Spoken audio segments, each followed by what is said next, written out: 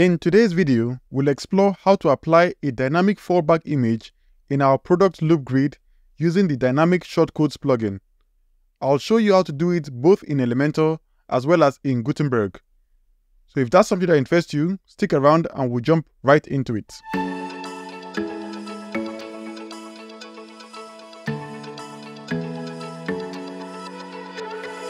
The main plugins we'll be using today are WooCommerce to create the products, Elementor Pro to create the product loop grid, dynamic shortcodes for the dynamic fallback image, and generate blocks for the Gutenberg version.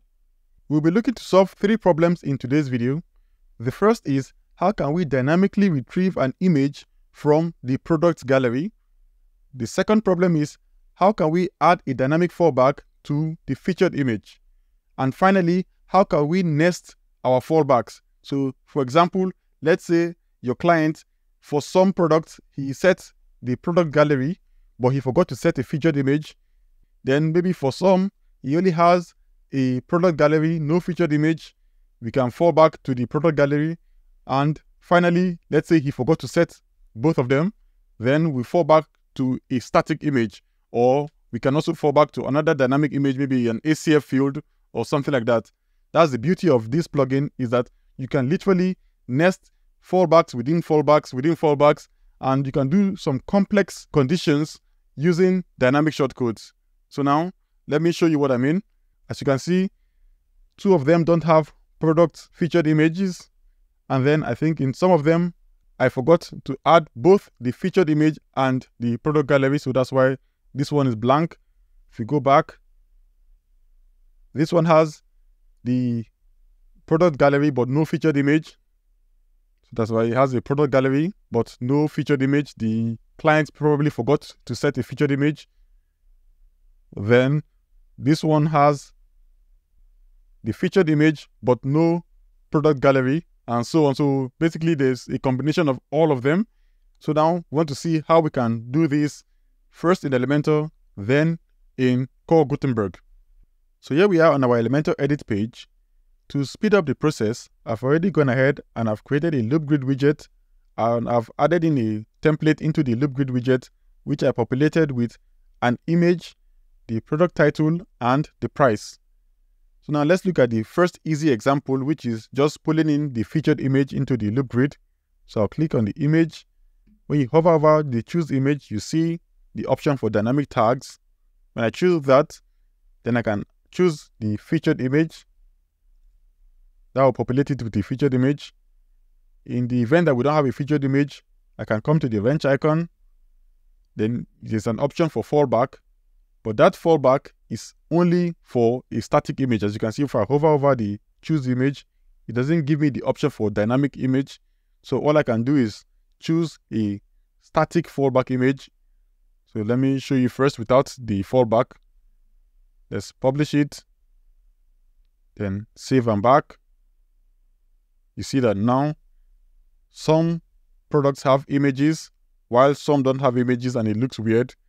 But now we want to add in a fallback. So let me go in the loop grid, choose the image again, choose the wrench icon, then this time choose a fallback. So let me use this, select it. Then now if I save and back, you notice that those two images now are populated with the fallback image, and which is all fine and good. So we always have a fallback of a static image. But now let's see how we can take it a step further. Now we don't want to just pull in the featured image. We want to pull in the first image in the product gallery. How can we do that? Let's go back and edit the template and see if Elementor has that option. So let me click on the image again, remove the featured image, and this time choose the dynamic tag, so you can see, unfortunately, Elementor doesn't have by default to pull in the first image from the product gallery. All you have here is the product image, which basically all it does is that it allows you to choose a specific image in case you don't have the correct product image. You can now pull in, let's say, for the Vans, just search for Vans, choose that, and it will pull in that image from a different product. But that's not what we want in this case. We want to pull in from the product gallery one of the images. So that's where the dynamic shortcodes plugin comes in. So let me exit out of this. Now I'll choose the dynamic tags again. If you have the dynamic shortcodes plugin installed, I'll leave a link to how you can download it in the description. Then you can go over to the dynamic OO dynamic shortcodes, choose that, then click on the wrench icon. As you can see from the description, the main thing Elementor is looking for is the ID of the media file. So what we're looking for is how to dynamically retrieve the ID from the product gallery and then the first image in the product gallery. So if we're in doubt, we can go to the demo shortcodes. So you have to just go to the dynamic shortcodes, demo shortcodes, we're looking for a WooCommerce product. So we'll go to Woo. Then I'll just search for an example here. So let me say Nike, choose Nike. And the main thing we're looking for is the gallery. So let me search for gallery. So this is the shortcode we're going to use, which is Woo gallery image IDs. And it's going to give us an array, but we need just the ID of one of the images. So first we copy this, we paste that in there. It will give you an array, so that's why it's going to give an error. So now we just want to retrieve one of the images from the array. So we use the access, which is the double pipe symbol. And then we want to choose the first image there. In an array, the first starts from zero, so we can just say zero and it retrieves the first image from the product gallery. If we want the second image, we can say 1, and that will retrieve the second image from the product gallery. So in this case, I just want the first one, so that will be 0.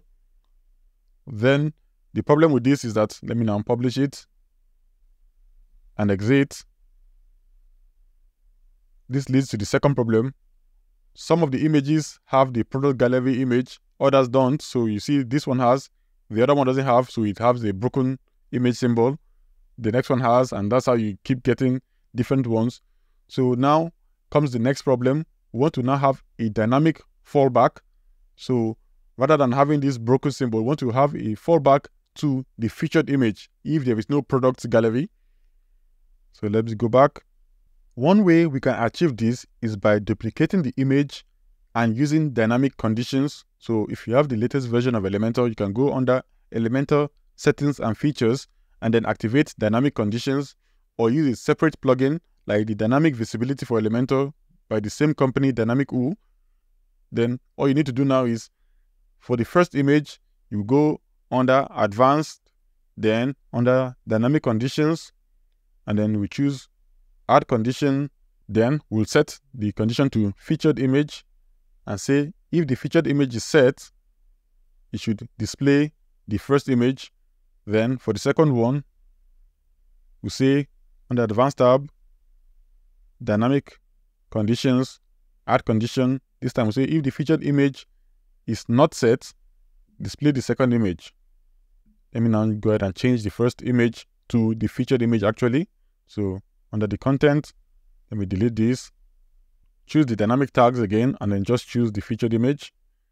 So now we have the featured image and the other one. So let me publish, then save and back. And you see now, if there is a featured image, shows the featured image. Otherwise, it shows the product gallery whenever there is no featured image. But then we have the next problem is we don't have that static image, which is easily fixed by going back to the images, then setting both of them to always fall back to this image. For the second one too, we can do that and then you will always have that fallback. So when there is no featured image, you should fall back to that static image. But rather than doing all of this stressful thing, we can do everything from one widget. So let me delete this image. And then we come back to this product gallery image. I'll go back to the content the wrench icon. For adding fallbacks to the dynamic shortcodes, the syntax is using the question mark symbol. So all we need to do is right before the end of the curly brace, we just add in the question mark.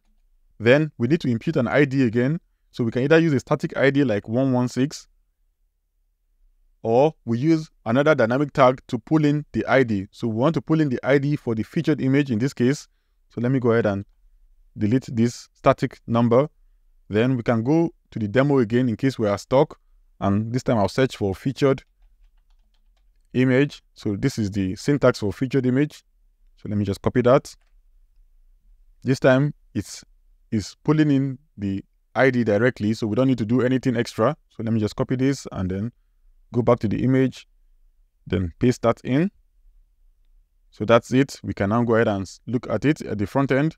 But first, let me go ahead and remove that dynamic conditions we set. So under the advanced tab, dynamic conditions, let me get rid of it, save and close, publish it, and then save and back. As you can see now, we get the gallery image first. If it doesn't have a gallery image, then it falls back to the featured image. But then we have one more problem that when it doesn't have both of those, it now creates a blank space because this one doesn't have both the gallery image as well as the featured image. So we can easily remedy this by doing the nested fallback. So go back in there, this is the power of this dynamic shortcode. You can either use another dynamic tag as a fallback, or this time you can use a static number. So let me come to this image, then go to the content, the wrench icon. This time I'll go into where the ID stops. That is for the nested dynamic shortcode. And within that one, I'll now add in another fallback. So I'll put question mark there. And this time I'll say maybe 116, I believe, which you can find by going to the media. Then I'll choose, maybe this was the media. The value there is, I think, 110. So let me just copy that. That's the value we need. So come back here, and that is what I'm going to use here as the fallback. So now everything is complete. So publish, and then save and back. As you can see now, when we don't have any image at all, it falls back to that image. When we have the product gallery image, that's what shows. If we don't have the product gallery, it shows the featured image and we are all set. Everything is basically wrapped up together. And we can also add in some more powerful conditions because the dynamic shortcodes plugin has a lot more conditions, which you can set. Let me search for it here.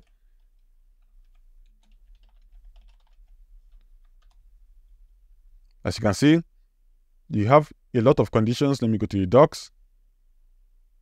You can use an if statement if you want. You can create so many different conditions, wrapping so many things together, and then you come up with a powerful condition.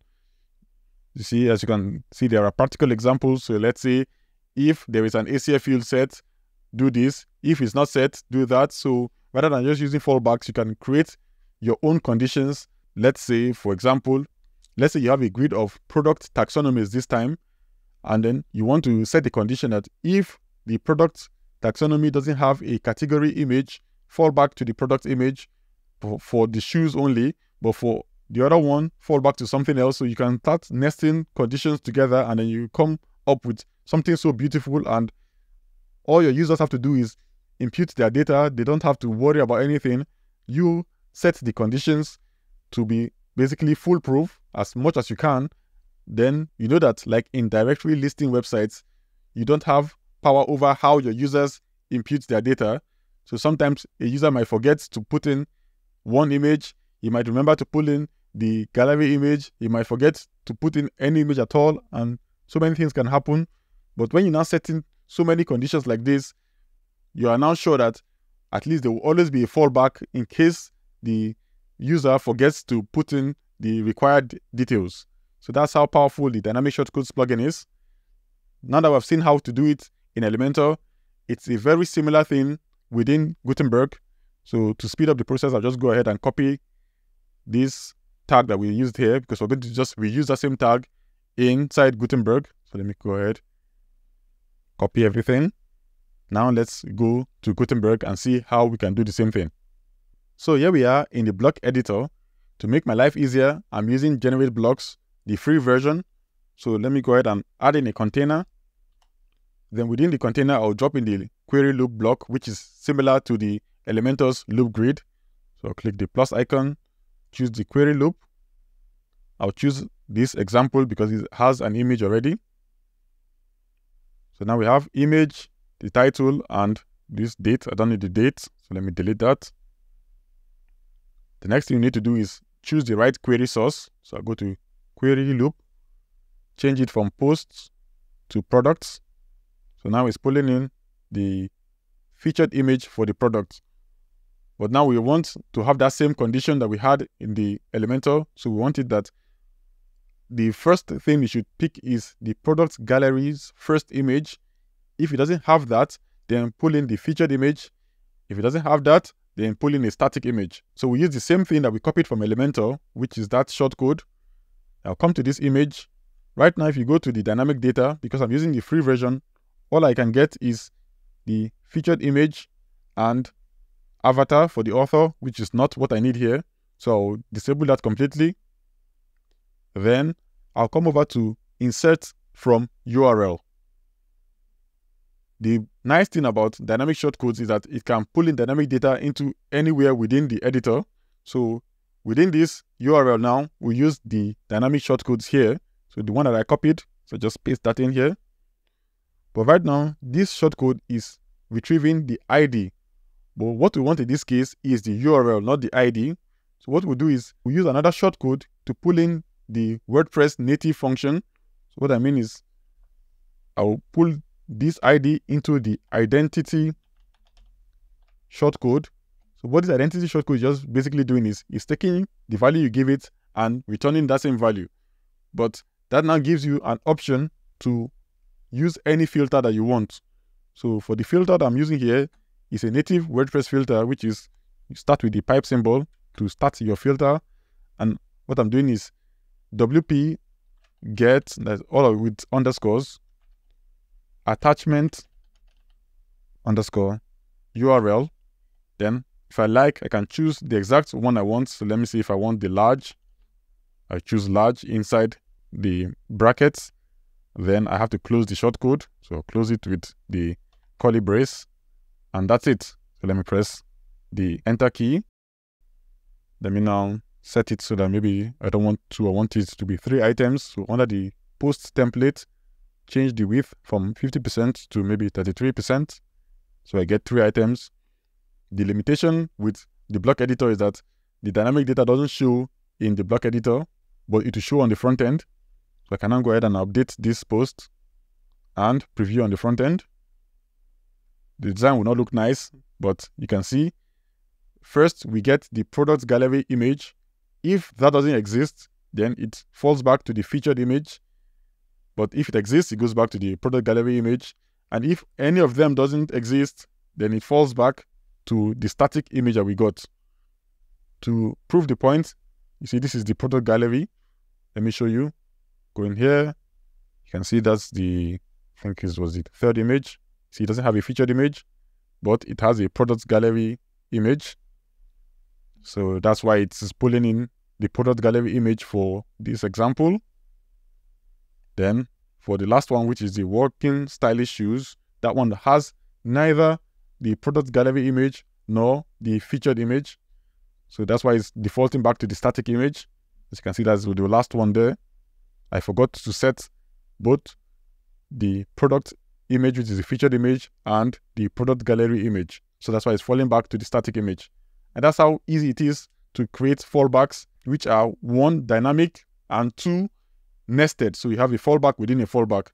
This is something that's even missing within Bricks as well. Bricks doesn't have this currently. You can't have dynamic fallbacks, but with Dynamic Shortcodes plugin, it gives you the ability to have dynamic fallback images in whatever page builder you're using that it supports.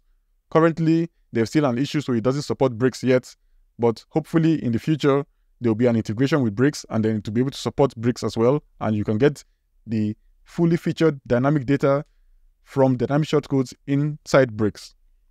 So thanks for watching. I hope this video has been enlightening and I'll see you in the next one.